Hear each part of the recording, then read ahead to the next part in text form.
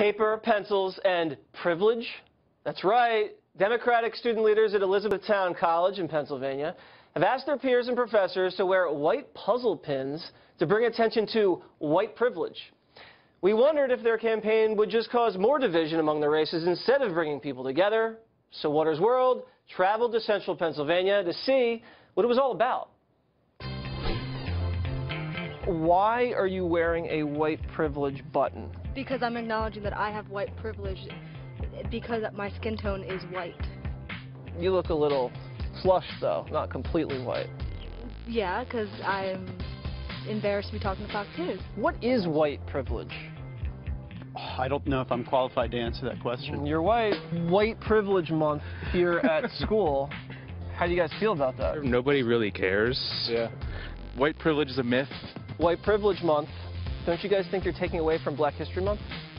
Uh, hmm, that's an interesting question. I don't feel like I would be turned down from a job or anything like that because of my skin color.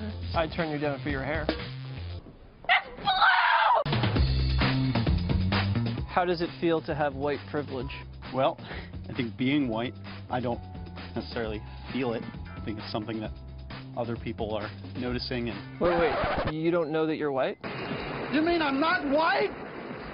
Oh yeah, no, I know I'm white. Maybe they might look at me and maybe if I dress a certain way, it might look like it might look like I'm a thug or something. Oh, because you have a hoodie. Or A hoodie or Oh, here, something. wait, wait. Yeah. There you go. Yeah, I might I might look like a bad guy or If you could change your race, would you do that?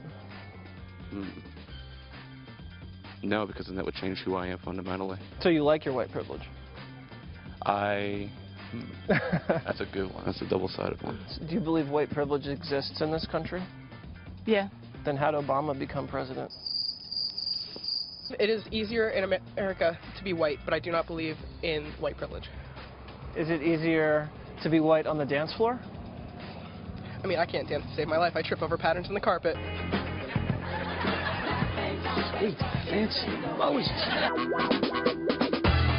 Do you feel guilty about your white privilege? Sometimes, but it's just a part of me. I'm, I wouldn't change the fact that I'm white. Race is a social construct. So you're not white. I am Italian. I'm American. So isn't it more determinative to be have American privilege than have white privilege? Okay, I'm gonna stop now. all right. We were doing so well, I thought. Joining me now with his take on all this is deputy editor of the Daily Caller, as well as the author of the brand new book, No Campus for White Men, Scott Greer.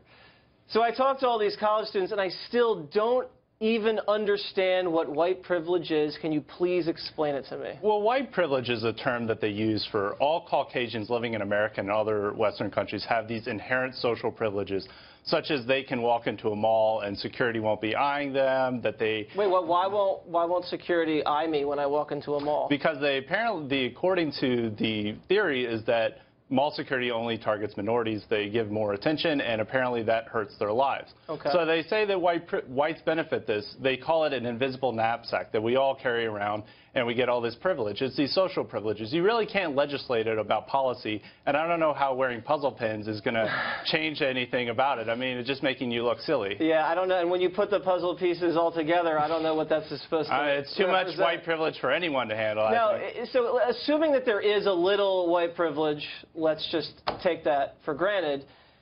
What am I supposed to feel? Guilty about that?